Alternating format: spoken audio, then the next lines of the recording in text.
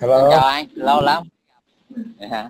quá rồi Dạ. lâu lắm mình mới ờ, mới lên diễn đàn. Dạ. dạo này công việc anh nào Ờ, rồi? ở ẩn luôn. Dạ, em cũng Thì tính ở việc- đó chứ. việc- dạo này có ấy đâu lâu lâu rồi gặp mấy diễn đàn kia lên chửi giờ- mấy kia chút rồi xuống thôi.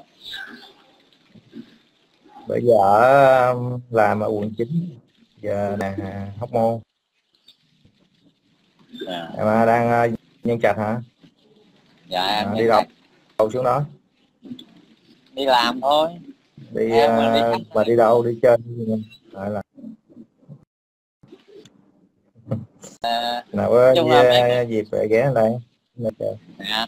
mai mốt sắp thất nghiệp Ừ, nay chủ đề ngáo mặn nhá ngáo mạng ngáo ngáo lắm rồi. Lâu lâu lâu lắm rồi thôi. Không được ngáo mặn bữa nay à, cũng lên ngáo mặn xíu. Thấy à, mấy à, cháu bà quê F2 F3 đồ vô comment. Không có cháu Nói Tùng Lê đâu con là chanh bình thường thì, thì à, chắc cũng lên đâu mà có thấy mấy cháu bà quê là là muốn lên à. Hình như là giống như là, là mất cái nghiệp rồi. Thích đập bà quê. Nào có bà quê là cầm cầm sẵn cái cây. Phải gõ đầu cho nó khôn lên bà que nó ngu. Thật sự mà nói nó, nó quá ngu. Nó ngu, ngu đã đành rồi mà mình nói nó không nghe không hiểu. Phải không?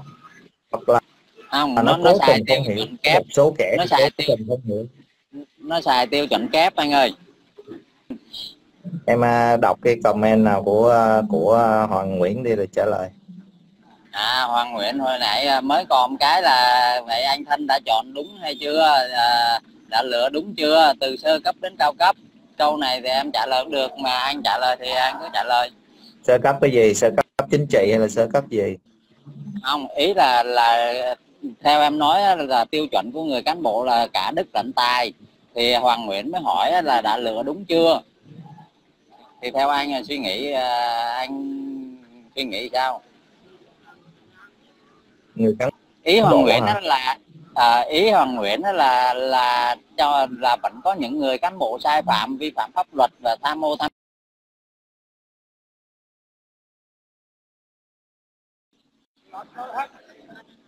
cái việc mà tham ô đúng không?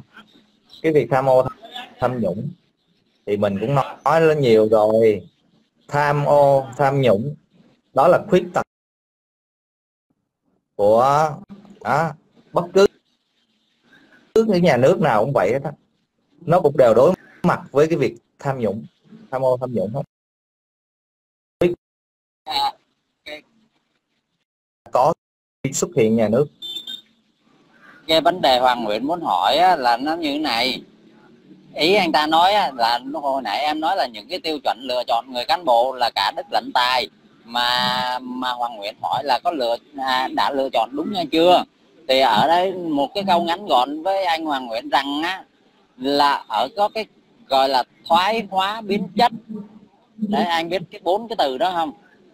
Tức là ngay từ ban đầu họ không có không có là không có xấu, nhưng mà trong theo cái thời gian từ họ quan liêu, rồi bắt đầu là thiếu sâu sát, không đi sâu sát ờ, với cái cuộc sống của người dân, và họ tiếp xúc với những cái cám dỗ cái mặt trái của nền kinh tế thị trường dẫn nó từ họ phai nhạt lý tưởng thoái hóa biến chất sinh ra những người cán bộ là tham ô tham nhũng vi phạm pháp luật. Đấy có cả một cái quá trình chứ không phải con người là rèn luyện từng ngày từng hàng ngày hàng giờ. Chứ không phải là ban học cái là ra trường phát là thành người tốt rồi là từ, đó tới cuối đời là họ đều như vậy. Lựa chọn đúng hay sai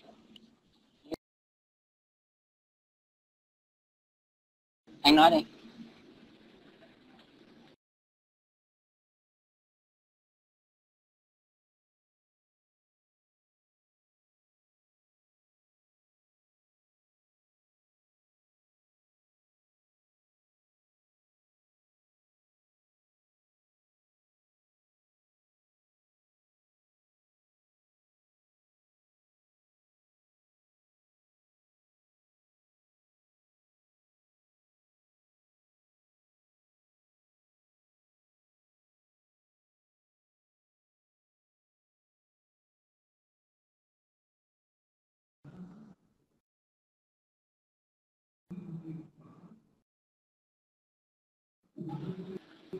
Rồi anh nghe.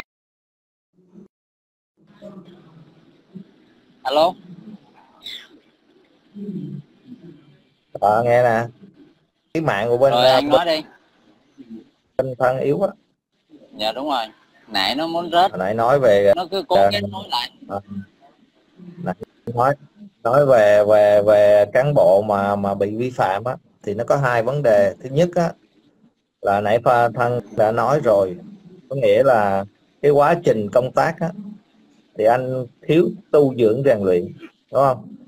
Cộng với cái việc mà cái cám dỗ của gọi là cái kinh tế thị trường hiện nay á, nó rất lớn. Ví dụ anh làm cán bộ mà anh quản lý một ờ, một cái tài sản rất lớn trong tay và cái quyền sinh sát nó có thì khi mà không làm chủ được bản thân thì rất dễ dính. Đó, rất dễ dễ lắm ai cũng vậy hết á không đừng bao giờ nói nói tôi là, là, là, là nếu mà tôi làm thì tôi không bao giờ phá mối gì cũng đừng bao giờ nói nói được cái câu đó. Đã là con người thì trong từng giai đoạn nó đều có lúc tham hết. Chứ không phải mình nói xuyên suốt đâu trong từng giai đoạn và khi mà anh đã tham rồi anh không rút ra được thì sao? Sau này à, bị phát hiện thì đi tù là đứng mà mình đánh giá đánh giá cao đảng nhà nước ở, ở một cái cái khía cạnh khác có nghĩa là dám đúng không? Dám đối đầu và dám đó thực hiện những cái ờ, cái cái cái ờ, cái, cái, uh, cuộc uh, gọi là, là, là, là điều tra để làm sáng tỏ những cái nhân vật thậm chí là, là trong bộ chính trị đưa ra ánh sáng những cái nhân vật đó, đó. chúng ta không bao che đúng không? Chúng ta dám làm trong viên. Thì bằng bằng cái cái sao?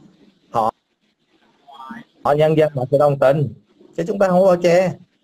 Nếu mà đảng không làm đúng không? Bây giờ mình đặt trường hợp này đảng bao che đúng không? đảng không uh, làm nhà nước không không uh, thực hiện cái cái, cái việc uh, uh, xử lý đó thì liệu các cháu ba que ở hải ngoại có biết không? Đúng không? Sao biết được? Đó. nhưng mà đảng dám dám nhìn nhận à, cái cái nạn tham nhũng và dám thực hiện những cái việc gọi là là là là, là nó một trong những bốn cái gọi là trước mình mình nhớ là nó là à, bốn nguy cơ để để để để mà làm à, mất cái chế độ á mà trong đó có nguy cơ tham nhũng. Thì chúng ta dám nhìn thẳng nhìn thật và đánh giá đúng cái thực trạng hiện nay và chúng ta dám thực hiện đó, việc chống tham nhũng một cách quyết liệt. Thì đó là là gì? Là cái tín hiệu đáng mừng đó, cái đó là cái tín hiệu đáng mừng. Bây giờ những cái nước thí dụ như Mỹ đi bây giờ mình cứ nói nước Mỹ đi. Giờ Mỹ nó không bắt bỏ tham nhũng có mà nó không bắt thì các cháu biết không? Cháu qua què có biết không? Sao biết được? Nó, nó âm thầm mà giờ nó, nó bao che cho nhau rồi liệu có biết không? Trong khi đảng nếu mà đảng sợ à, nhân dân à, sợ nhân dân sợ quần chúng à, nghĩ là uh, nghĩ xấu về về đảng thì đảng đã không làm đúng không? Đảng đã không làm. Nhưng mà ở đây chúng ta nhìn ở một cái mặt tích cực có nghĩa là đảng nhà nước đứng à, dám không?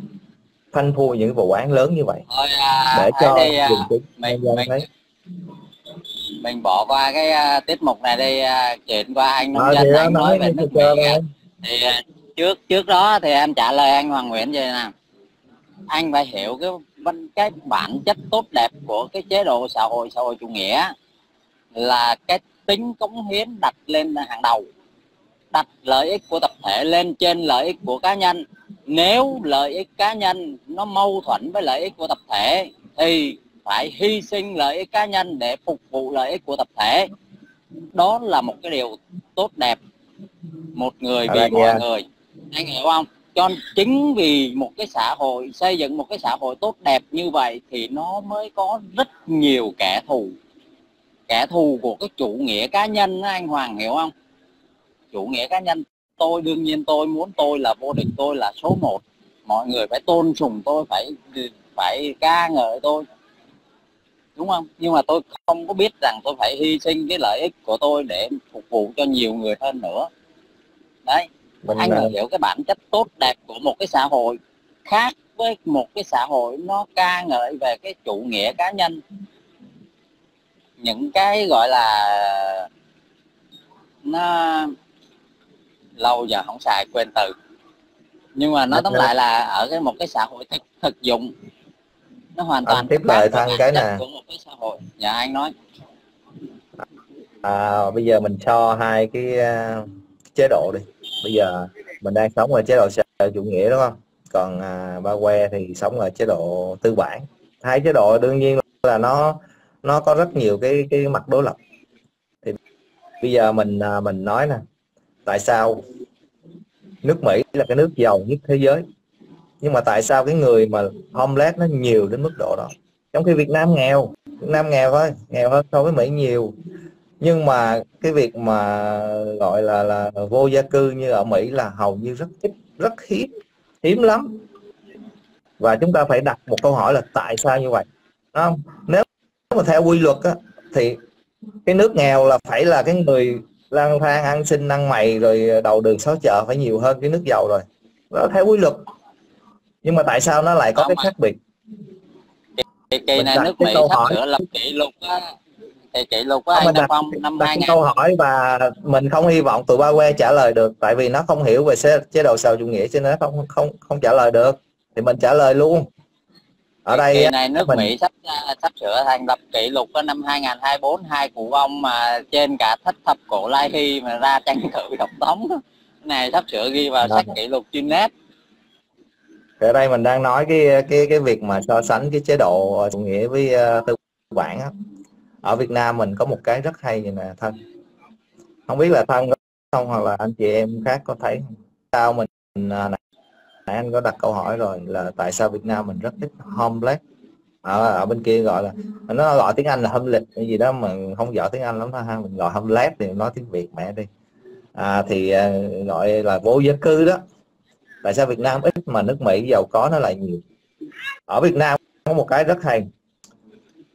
Có nghĩa là ở cái các cái cái cái cái cái, cái thôn ấp ở mà thôn ấp rồi à, ở địa phương à, ở cái vùng nông thôn. Họ có những cái phong trào rất là hay à, đó. Rất, rất hay để giúp cho người nghèo người học thiểu số. Và những cái người mà ở vùng sâu vùng xa nó có phong trào gì? Xây dựng nhà thương nè nhà nhân ái nè nhà đại đoàn kết. Tùy một cái đoàn thể sẽ đặt ra một cái tên đó. Nhà đại, đại đoàn kết thì trận nhà, nhà tình thương thì do uh, ủy ban xã rồi ờ, kết hợp với các cái đoàn thể làm rồi nhiều cái tên khác. Nhưng mà đại á, là sẽ là những cái phong trào để xây những cái nhà cho những cái người nghèo mà không có khả năng xây dựng về nhà ở để có cái cái nhà để ở. Đó. Chính vì thế mà chúng ta thấy người Việt rất là hiếm người gọi là vô gia cư. Cái từ vô gia cư hầu như ở Việt Nam cái khái niệm vô gia cư ở Việt Nam nó không có nhiều ít người nhắc lắm. Đó. Mà chưa hết đâu không phải là chỉ là xây cho họ cái nhà đâu mà ở địa phương họ còn rất nhiều cái phong trào khác. Nghĩa là cây con giống nè hỗ trợ vốn nè hỗ, hỗ trợ đào tạo việc làm nè. Ở các cái vùng ở các cái nông thôn họ làm rất là nhiều các cái đoàn thể và đặc biệt ở Việt Nam có một cái ngân hàng không? Mà trên thế giới hầu như không có nước nào có. Đó là ngân hàng chính sách xã hội. Ngân hàng chính sách xã hội là cái nơi mà cho những cái cái cái đối tượng à, xã hội vay vốn hoặc cái vốn gọi là đặc biệt ưu đãi cái lãi suất cực kỳ thấp như lãi suất ngân hàng thương mại. Đó. những ai, ai mà đã được thụ hưởng được vay vốn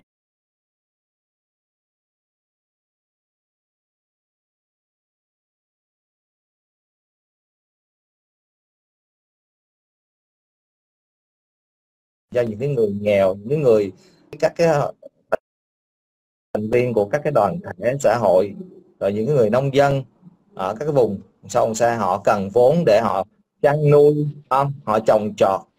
Đó. Rất là nhiều. Nước Mỹ làm gì có có cái chuyện đó không bao giờ có. Rồi là, là địa phương họ tạo ra họ họ họ họ, họ tổ chức những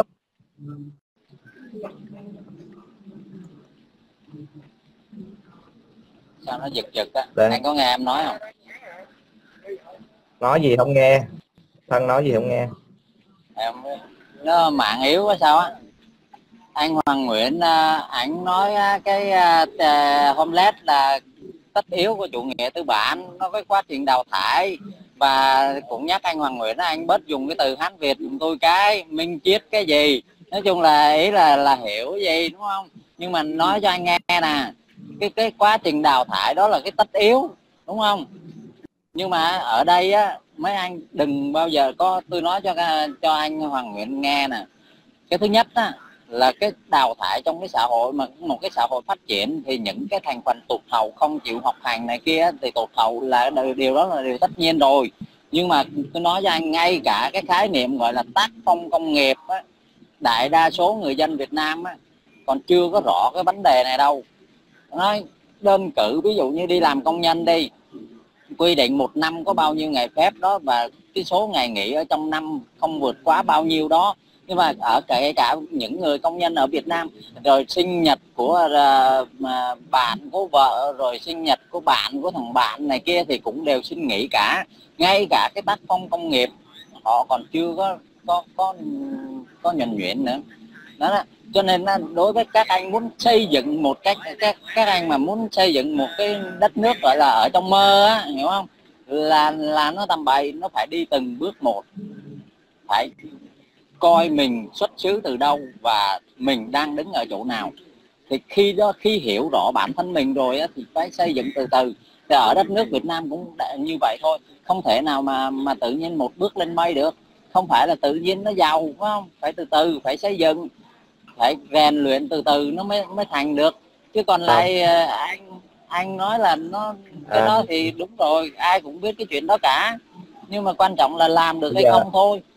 Thân thân để, để trả lời Hoàng Nguyễn cái này cái thân cái comment là homeless là một phần tất yếu à, của chủ nghĩa tư bản. Đó là kết quả của sự phát triển và đào thải. À, rồi ok. Giờ mình phép trả lời à, bạn à, A quên à, à, à, đại diện cho ba que nha.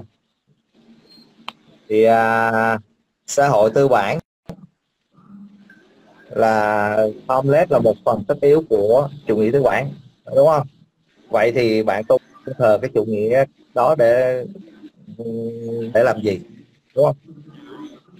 Bạn, bạn có à, Hoàng Nguyễn có, có nghĩ rằng là trong gia đình mình trong dòng họ mình đúng không?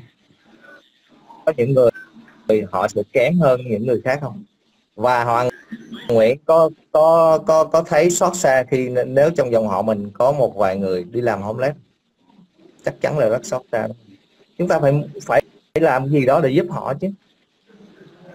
Ở Việt Nam họ làm được. Có những người à, tại sao ở Việt Nam họ hàng năm họ đều đều à, hội họp để họ phân ra cái hộ nghèo và cái hộ cận nghèo để làm gì? Bên Mỹ làm gì có.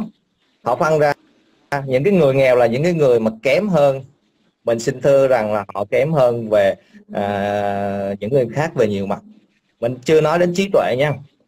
Có khi họ cũng không trí tuệ họ không không không tệ nhưng mà họ không có vốn làm ăn chẳng hạn.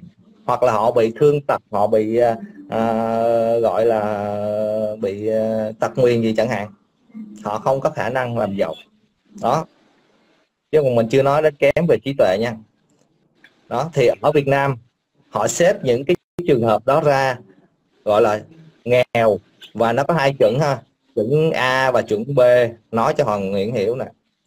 Chuẩn nghèo, nghèo A là thế nào? Có nghĩa là chuẩn nghèo A là những cái người có khả năng thoát nghèo. Ừ. thì làm sao để họ thoát nghèo? Và đừng có anh nói về cái ờ, những cái chính sách của nhà nước nhằm hỗ trợ cho những người đó thôi còn Không, lại để anh nói. như thế nào khái niệm về nghèo như thế nào? Nói để anh, anh đang nói gì để để để cho anh hiểu. anh nghĩ Hoàng Nguyễn là nó không hiểu. Nó không hiểu. Đó bây giờ mình nói là cái cái hộ nghèo mà có, có khả năng thoát nghèo thì ở địa phương đó là làm những cái cái việc gì để giúp họ thoát nghèo? Và cứ mỗi một năm như vậy là họ thống kê lại là cái hộ này thu nhập đã đủ thoát nghèo chưa? Đủ cái chuẩn chưa họ đặt ra cái chuẩn ví dụ như là năm người thì mỗi người thu nhập bình quân bao nhiêu là thoát nghèo? À, Hoàng Nguyễn thì nó tùy vùng nha điều nông thôn khác thành thị khác và vùng miền khác nhau nữa tùy tùy nơi. Và cái chuẩn nghèo nó nó thay đổi theo cái trượt giá cứ 5 năm một lần. À, nói cho Hoàng Nguyễn một lần để hiểu nè. Mở cái não ra dùm cái. Vì thì để mà mà giúp cái người nghèo này thoát nghèo á thì bằng rất nhiều chính sách ha, rất nhiều chính sách. Thứ nhất là tạo việc làm. Nó có những cái lớp gọi là là là, là, là lao động nông thôn đó, dành cho cái lao động nông thôn này ha vay vốn hỗ trợ cây con giống à, cây con giống là những cái cây mà họ trồng á như là bắp lúa các kiểu rồi con giống là gà heo bò dê. Đó rất nhiều ha đều có chính sách hết. Rồi ngân hàng chính sách nữa ngân hàng chính sách cho vay nếu mà cái hộ đó cần vốn để mà trồng lúa chẳng hạn, thì ngân hàng chính sách cho, xã hội họ sẽ cho vay. Và ở địa phương các cái toàn thể, nếu mà người đó ở trong hội nông dân, thì hội nông dân cũng có một cái nguồn vốn riêng của nông dân cho vay. Và rất ưu đãi, chứ không phải vay giống như là vay ngân hàng đâu ha. Thì từ những cái việc đó cho nên là họ mới thoát nghèo. Họ chí thú làm ăn, họ sẽ thoát nghèo. Thì cho nên cho nên Việt Nam hối chuyện không lát đó cái thứ hai là hộ nghèo chuẩn B. Tại sao lại xếp xếp chuẩn A chuẩn B? Chuẩn B có nghĩa là những cái người không có khả năng thoát nghèo. Đó, không có khả năng thoát nghèo có nghĩa là họ bị dị tật bẩm sinh chẳng hạn không? Họ không đủ sức khỏe để làm việc và trong gia đình nó toàn người già với công con nít không làm được cái gì hết thì không có khả năng thoát nghèo. Thì những cái hộ đó hàng tháng hàng quý hàng năm đều được nhận những cái hỗ trợ từ địa phương và các mạnh thường quân. Hỗ trợ nhiều lắm. Nói chứ gạo với mì với các kiểu là ăn không bao giờ hết. Không có chuyện bây giờ đó. Họ không làm được nhưng mà họ không bao giờ chết đói. Họ được hỗ trợ rất nhiều. Những cái người mà nhất là những người mà bị tàn tật. Nói thật những cái ngày mà ngày lễ ngày tết đó hả gạo chất tới nóc nhà. Cho nên họ ăn không bao giờ hết. Đó. Để nói để thấy rằng ở sau chủ nghĩa nè không có homeless là như vậy á. Còn tư bản thì kệ mẹ tụi mày đúng không? Kệ mẹ tụi may tụi mày không làm được đây đang cho khái niệm nữa nè anh Nam Phong. Đây là nó là nước Mỹ rất là thực tế hiểu không? Anh anh giỏi thì anh ở thượng tầng xã hội. anh không quá. giỏi thì anh phải ở tầng dưới. Đó mới là công bằng.